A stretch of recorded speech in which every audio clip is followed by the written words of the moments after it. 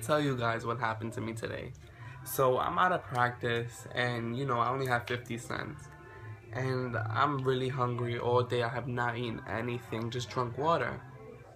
And so I'm there and I'm going to the store and I, I just buy a honey bun because you know all I have is 50 cents. And so I'm walking out and as I'm walking like I'm a, like passing by this guy who's like begging for change or whatever.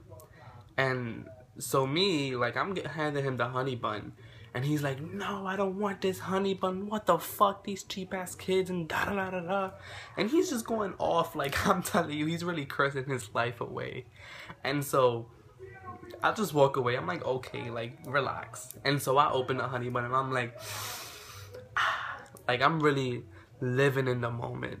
And so I'm walking, I'm eating it, and I put my headphones in. Mind you, my phone was really dead.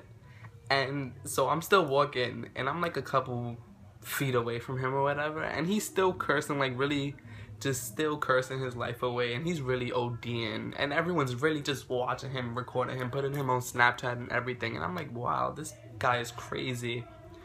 But he was just so ungrateful. Like you're there begging for change begging for something. So I'm assuming that you're just hungry. But no he probably wanted money for drugs. And he's just crazy. Like come on are you serious man like, I'm trying to help, and he's really ODing, cursing me, like, making me feel so guilty and discouraging myself.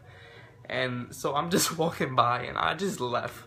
And today was just an exhausting day overall. Like, really woke up at 5.30, jogged around my street a couple, like, yeah, for like in half an, a half an hour or so.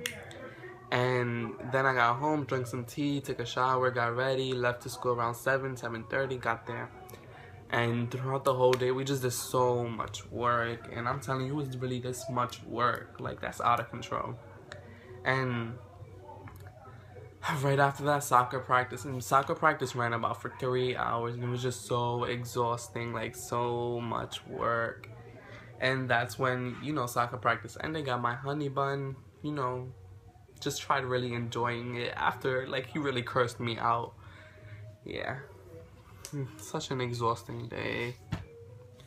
But stay beautiful with easy, breezy, omizzie, like a cover girl. Bye.